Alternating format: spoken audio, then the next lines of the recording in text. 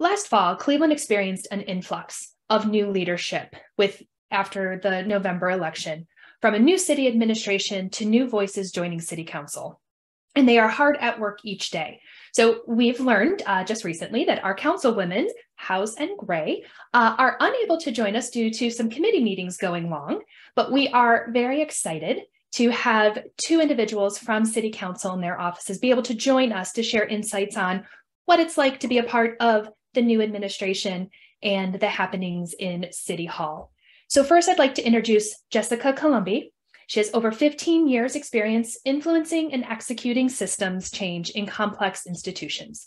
She is inherently collaborative and enjoys partnering with people to make organizations hum. She's currently the Director of Policy and Research for Cleveland City Council and previously served as the Executive Director of Career Services at Cleveland State University. Prior to her time on college campus, she served as Chief of Staff to the Chancellor of the Ohio Board of Regents, now the Ohio Department of Higher Education. She has completed the Gestalt Institute of Cleveland's training program and is also part of a small team that has developed an Ohio Attorney General certified cultural competence training for law enforcement and has trained over a thousand officers across two states and four counties. She has a bachelor's degree in art history from John Carroll University and a master's degree in psychology with a certification in diversity management from Cleveland State. We are also joined by Rajzia Whitley, who is the executive assistant to Councilwoman Stephanie Howse. She's a recent grad of The Ohio State University, where she obtained a Bachelor of Arts degree in political science to not only learn about the systems and organization of government, but mainly to help advocate for others, especially the disadvantaged demographics. She assists in organizing community meetings, outreach materials, festivals, various events, conducting policy and issues research, while also fulfilling resident requests. The office's main goal is to reduce the barriers in government services by finding the answers of questions asked by community members. So I am so happy to welcome them with us today, and I am going to turn it over to Rajzia. Hi, good afternoon, everyone. My name is Rajzia. I'm very excited to be speaking to you all today. I am sorry that Councilwoman Howse couldn't um, come here, unfortunately, but you know, we are here to speak. So for me, working at City Council has been very hectic, but it's like a very great experience from um, being a recent graduate of The Ohio State University, just like almost a year ago now. I've learned so much um, being here, meeting different kinds of people from different backgrounds, different wards as well. Like not every ward is the same. They have different needs that they need to be met. And with that being said, working with Councilwoman Howse, she has an idea of meeting the people where they're at and trying to build relationships with them and build connections with them. So in doing so, we have community meetings in which we'll gather a lot of community members within the area and talk about discussions um, with like issues that they're having within their community, crime, violence, street concerns, um, if they want to build a business, uh, property acquisitions, uh, just listen to their ideas and hearing them out and um, trying to build a really great relationship and act as neighbors um, you know, trying to build that unity. And we also have community drop-ins as well, in which residents and um, stakeholders, they can meet with Councilwoman Howse in person. Um, so that's a really great idea because in politics, there's like this misconception that like, they don't really try to meet people where they're at. They just kind of stand stagnant still, but she actually wants to enforce change and um, be for her people. So as far as our visions and goals, we created the ABCs. A is access to resources. B is building family and neighborhood relationships. And C is creating a safe and vibrant neighborhood. So if anything aligns with that, we're gonna work towards increasing that and um, meeting with churches and schools and organizations, just trying to figure out what can our office do to help you and um, succeed and just build a better community overall. As far as our goals, number one, we like to assess Ward 7's capacity to meet the needs of Ward 7 residents and community partners, as I originally said. Um, two, develop and implement a comprehensive communication strategy to engage Ward 7 residents and communicate community partners. Three, partner with six resident-led groups that are actively working to solve a challenge in the ward. Four, create a method to equitably evaluate funding requests to Ward 7 council, Ward 7 councilwomen. Five, connect 343 Ward 7 residents and community partners to upward mobility opportunities. And by upward mobility opportunities, people within our ward, they don't really have a lot of technology access. So it's good to provide, provide them with resources so they can get where they need to be, such as getting a job, um, having their children have access to uh, computers if, they have, if they're homeschooled or they need a computer at home. You know, we want them to have resources as well so they can um, thrive. Six, prioritize the health of every team member serving our ward. And seven, embrace agape love, having fun and finding joy while improving the quality of life for all of our Ward 7 residents.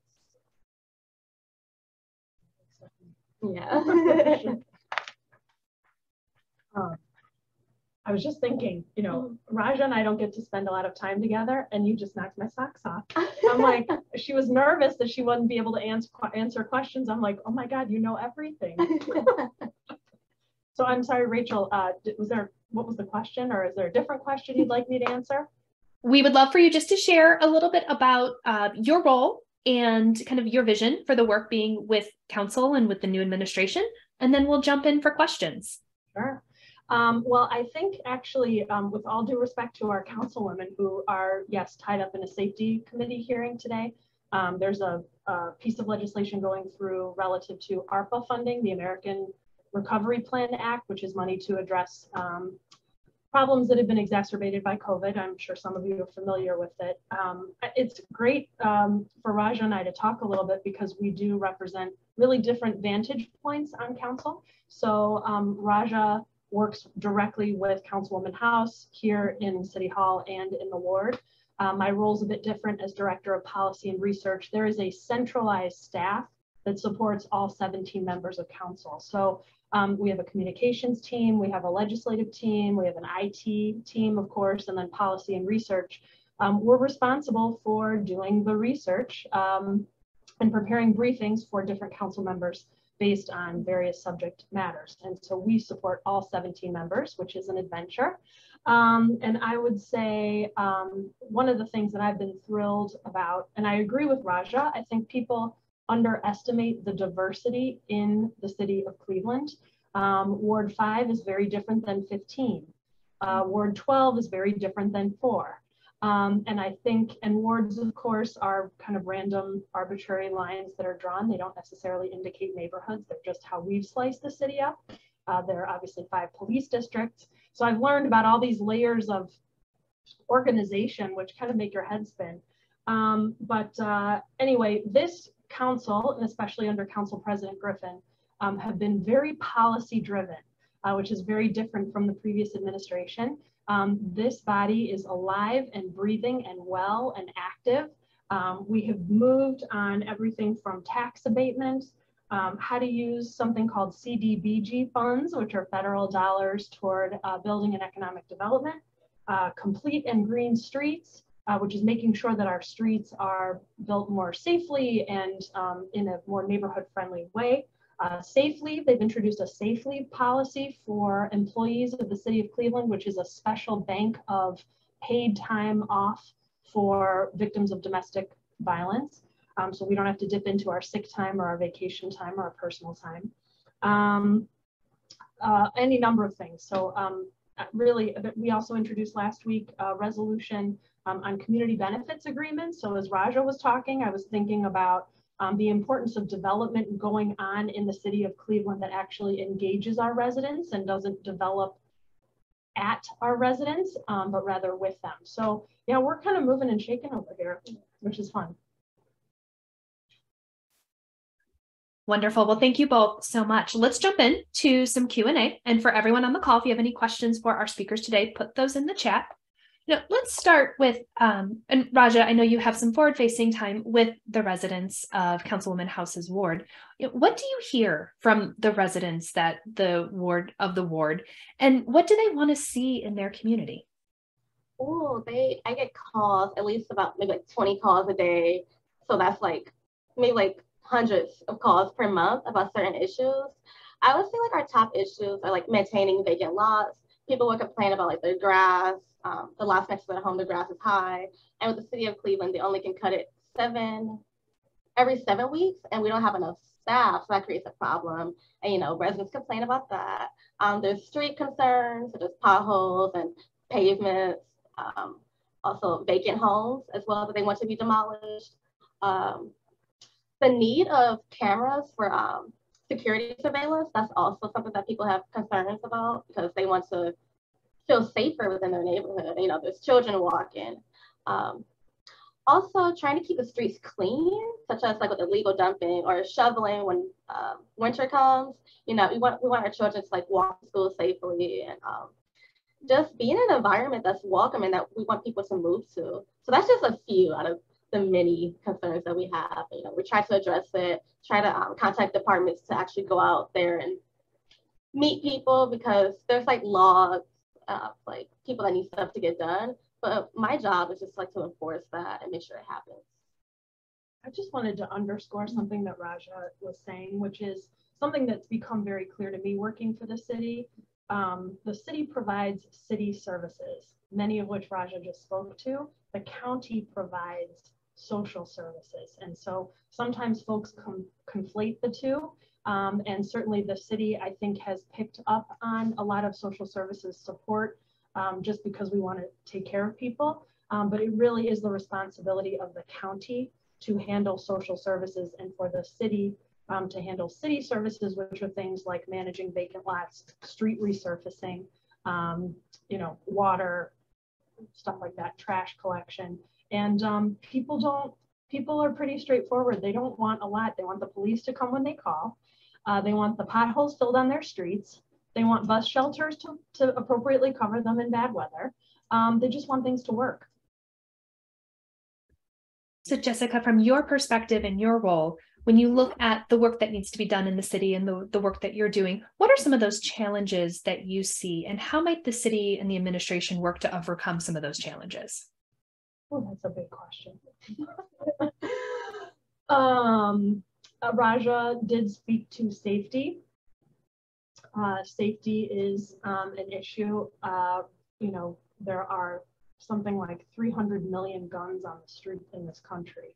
And so when we have a distinctly armed um, public, that makes uh, life challenging for, for every member of the community. And so making sure we're working with law enforcement. Um, I see our friend Jennifer Johnson here on this call. She's the executive director of Canopy, which works with um, specifically children who are victims of sexual abuse. And not many people know that the Cleveland Police Department was a co-founder of that organization. And so I think folks underestimate how much um, Cleveland police and law enforcement get so much bad press.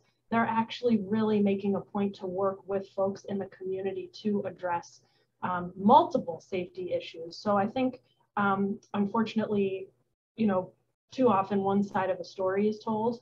And uh, certainly what I've seen yes, under the consent decree, um, but just who the leadership is in our safety division. They're working very much to build relationship and trust with the community.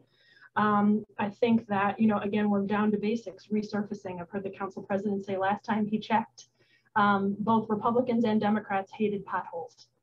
We don't have the luxury of being partisan. You know, we just, um, uh, and that's that's working with the CDC network.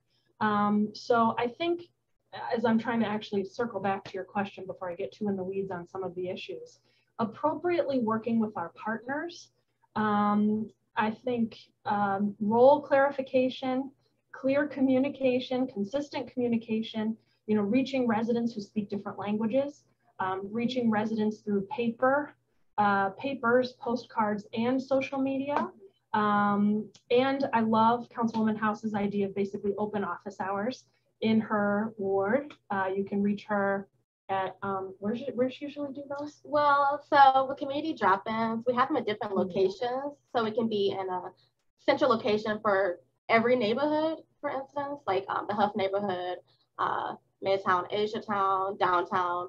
Just so like we're not like in one location and people have to come to us. We're trying to go out to them. So it varies. And that's definitely a challenge, right? We have one council person for what 20,000 people mm-hmm. in multiples of neighborhoods. And um, we just have to hope that they're all lucky enough to have the staff like Rajzia and other staff that they're able to hire, um, which is few and far between. So some of the challenges I think are capacity.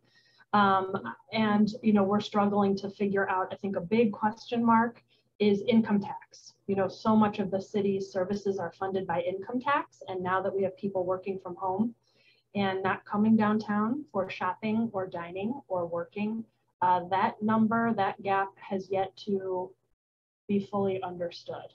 And so if um, the drop in income tax is significant enough, we got problems. So, from both of your perspectives um, and being newer to your roles, can you talk a little bit about what it's like to work within the city council office and working alongside the new administration? Well, for me, working inside the city council office, um, I like it, although it really is kind of different. I used to work at the House of Representatives or as an intern um, for Councilwoman Howse, actually. So the process is kind of different. Um, I feel like in city council or um, city hall, like every department just does their job specifically. We don't really try to connect with each other or um, figure out ways, how can we make this department better? You know, how can we collaborate and um, make uh, processes easier as well for residents, such as land-based applications. Um, that takes a while to get like a side yard or um, a vacant lot that's next to your house or a property that you own. It takes a while for it to get actually um, completed. And that's something that we're also trying to work on and see like, okay, what's the easier process for this? So we can just give people these lots and they can beautify it, make it how they see fit and um, keep up with it. I think that's a good idea for community members to do who actually want to be involved and make sure the city looks very welcoming and inviting. But you know, we just have to get the ball rolling and see what can we do to make this process easier and faster one of the things that I have in common with Councilwoman Howse and with Rajzia is I often say we were raised in the state house. Uh, I worked in the state senate about 15 years ago, and so there was a very there was a certain way that I learned how government functions. So I've worked in state government both for the state senate and, as you mentioned in your generous introduction of me, I worked uh, for the Department of Higher Education. Um, so working in state government and now working in municipal government, um, it's a different view. Uh, I'll give a very specific example to working with the administration. Um, I think there is a healthy tension between the two, uh, the executive branch and the legislative branch. I know that the council president and the mayor meet weekly um, and they have a lot of things in common and they have a lot of different views um, on issues and how to get that done based on their own experiences and living in the city. Um, I would say uh, one of the great experiences that I have had so far is being part of what's called the Center for Economic Recovery, um, which is a fancy name for an internal team. Uh, so myself as the Director of Policy and Research and one of our policy analysts, Ann Tilley, she and I have been in weekly meetings with the mayor, uh, well, not with the mayor, but with members of the mayor's cabinet um, on how to implement or use um, or plan for how to use these ARPA dollars. So that is that has been a very important collaborative effort between the legislative branch and the executive branch, between the council staff and the mayor's staff. So as you think about the work that you each do and those that you are working with through council, what do you feel you most hope to see through the work of the council? What's what's driving decisions and the vision for for those working within the council office? Take a moment to think about that. That's a really great question. Um, Rachel, you're saying you're asking what do we hope to see within city council? Hmm. I just hope that like we can become um, more like put together with how we do things more organized, I'll say. Organized and um, try to make things more like digital or like uh, not as paper routed ish. You know, we do a lot of things through paper. I think if we're able to like do things more through technology, things can get done faster. And it's a way to track what's being done, who's um, doing it, when did it get done or accomplished, like right there on your computer screen. Can't miss it. And there's no ifs, ands, or buts. It's right there. Um, it just feels more uh, practical to me. I would like to see, my hope is to see more council members working together um, and not sort of being, uh, feeling like or positioned as the only person who can help that ward, which again, in some of my opening comments, you know, these are arbitrary lines that are drawn.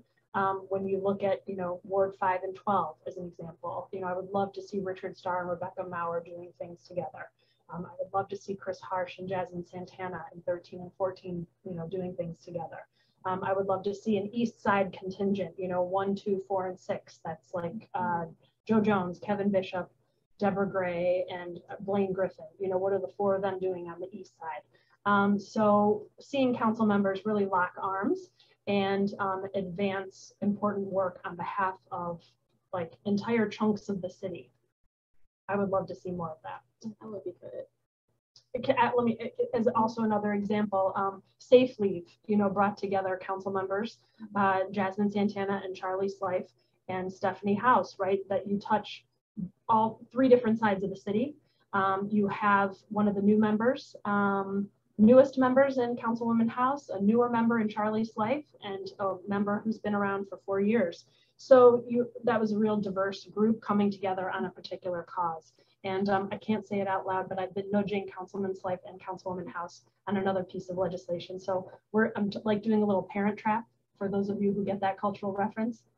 uh, try to do a little bit of a parent trap with various council members to say, hey, I've heard you talk about this as a priority. Hey, I've heard you say that you're interested in this thing why don't the two of you like get mm-hmm. together you know? And so. Well jessica how do we do more of that? How can those of us on the call also help with the work to try to encourage that collaboration among council members? Be in touch i would say. Mm-hmm. um, show up to these open office hours show up to city um, events um, let them know. I would say yeah. you know don't be shy. Um, when you see your council members say you know i've heard you talk about this thing i also heard you know, this member talk about that thing. Um, we would love to see you take a stand together. You know, our city is so balkanized as is, right? The first question we ask people is like, are you from the east side or the west side? Where'd you go to high school? Um, you know, and so how do we would love to see you model um, coming together and bringing parts of the city together. And if you have any ideas, share. I mean, council members I think this is why, you know, they knock themselves out yeah. to be in the wards and to be in the neighborhoods and to get ideas from people. So don't be shy. And we also have like a web form on the city council website as well, where you just click on your um, city council member's picture or the, your ward number, and you can fill out a form, a general inquiry form as well, or email us, however way you want to contact or call us.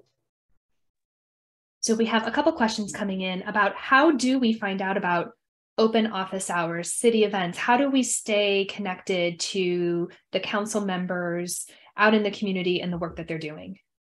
So you may also be able to be added onto our email newsletter. So we have um, a lot of events going on on there. We'll post that and email it to you. Also, our newsletter. This is our newsletter that we also mail out uh, three times a year. So that could be that, or like postcards we'll mail out to people in the community. Um, just like, just make sure you reach out to us because they're mainly for people in our ward, so we can give it to them. But anyone is welcome, any organization or um, community member, just you know, reach out to us. The office hours vary because we do that monthly. So at the end of the month, we create our office hour dates and locations for the next month. So for October, we created it, but um, our communications person is working on the flyer for it. And we can that can be posted up as well. And when Rajzia says our, not all council members offer those open office hours or those community office hours. That's something you could also ask your council member for if you're interested. Um, again, I know that they're torn, you know, multiple ways. Um, I would strongly suggest following Cleveland City Council on Twitter and Facebook and Instagram. I would also seek out your particular council members of interest on social media. They all are on Facebook, um, some on Twitter, some on Instagram. So um, look for your council members on social media.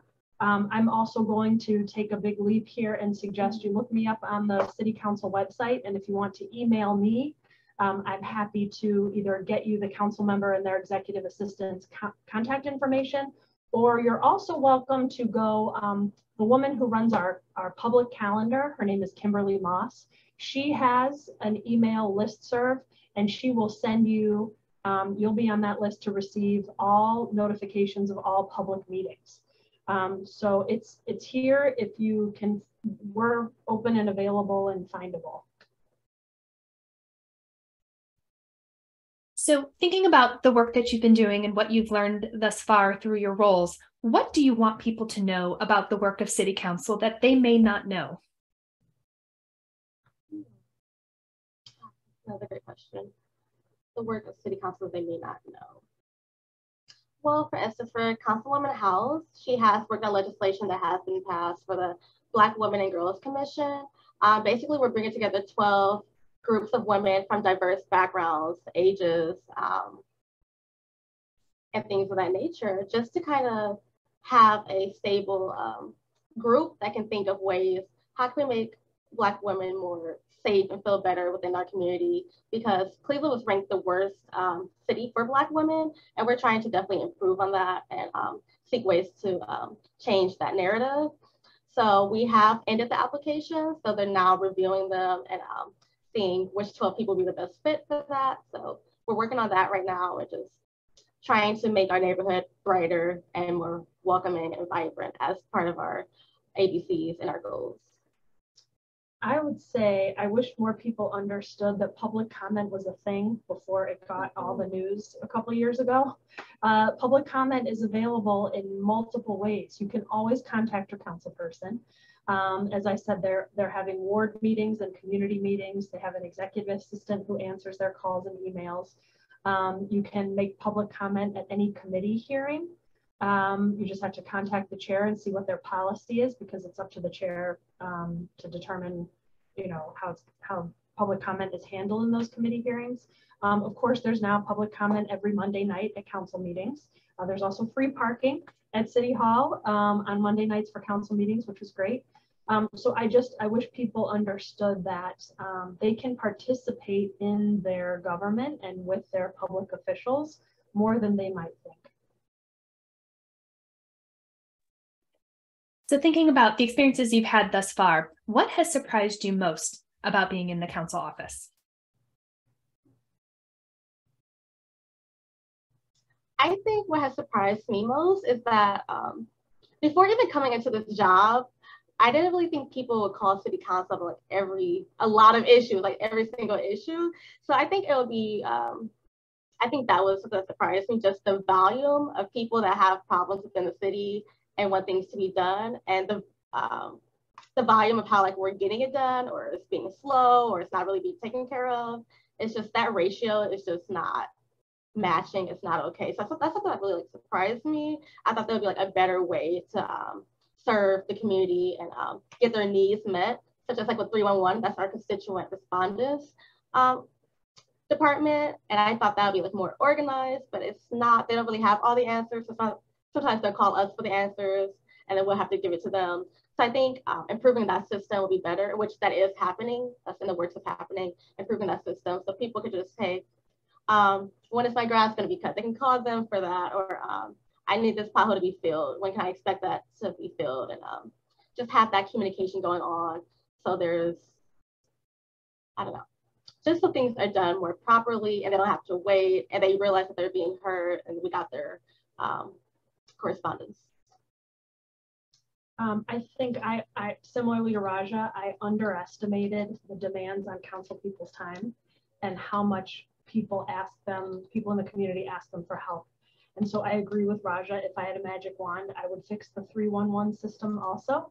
Um, again, uh, very differently than the narrative that's in the news. It's a both and. We need both 311 and our city council members uh, to address needs in the community. And so um, I do, I agree. I wish it, I wish we could hire somebody from Progressive Insurance to coach uh, 311's call center and they could hire five more people, um, you know, to uh, coordinate 311 better. And I guess that's it is like the lack of um, resources available to the city to modernize. I know that that's one of the mayor's priorities is to modernize City Hall.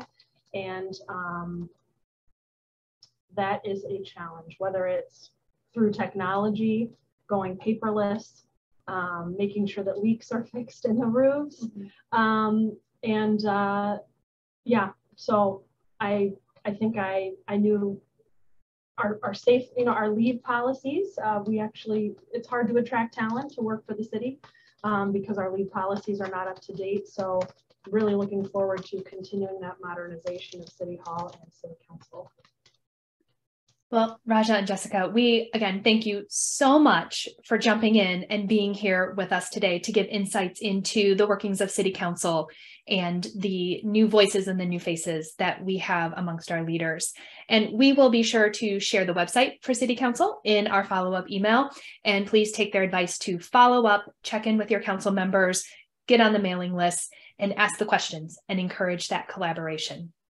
And also, Rachel, I'll put my email in here just in case um, anyone has like any questions.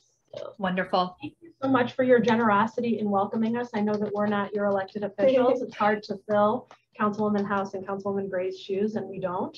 Um, but hopefully we brought a little something interesting for your lunch hour today.